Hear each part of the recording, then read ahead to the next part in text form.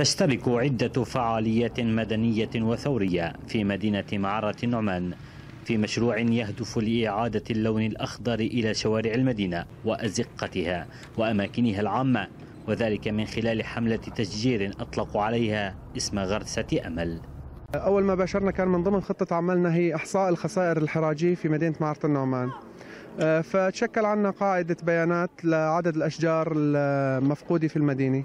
آه، الهدف من الحملة هو إعادة الجمال للمدينة. بعد ما دمرت الطائرات الأسد وبعد ما اضطر الأهالي لأنه يقطعوا الأشجار لاستعمالها كوسيلة تدفئة بسبب غلاء المازوت ووسائل التدفئة. تهدف الحملة إلى غرس أكثر من 1200 شجرة في عدة مناطق في المدينة. منها الشوارع والحدائق وخاصة التي قطعت أشجارها ودمرت نتيجة القصف بالإضافة إلى إعادة تشجير المدارس وإشراك الطلاب في العمل. صح الظروف صعبة صح الوضع عصيب لكن الطالب يتعلم دائما ينتج دائما يقدم دائما ما ما يستنى مثلا أو ما يرضخ للظرف اللي هو عايش فيه.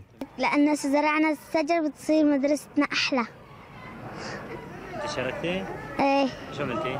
زرعنا هاي الشجره اشترك في العمل التطوعي فرق الدفاع المدني والمجلس المحلي في المعرة ومنظمة بنفسج التي سعت إلى تأمين الأشجار وعدد من المدنيين وطلاب المدارس والجدير بالذكر أن المعرة من أكثر المدن التي طالها قصف النظام والآن تعود بأيدي أبنائها إلى الحياة من جديد نحو مدينة أجمل تسعى المؤسسات والفعاليات المحلية هنا في معرة النعمان إلى تشجير كافة أنحاء المدينة وإعادتها خضراء كما كانت.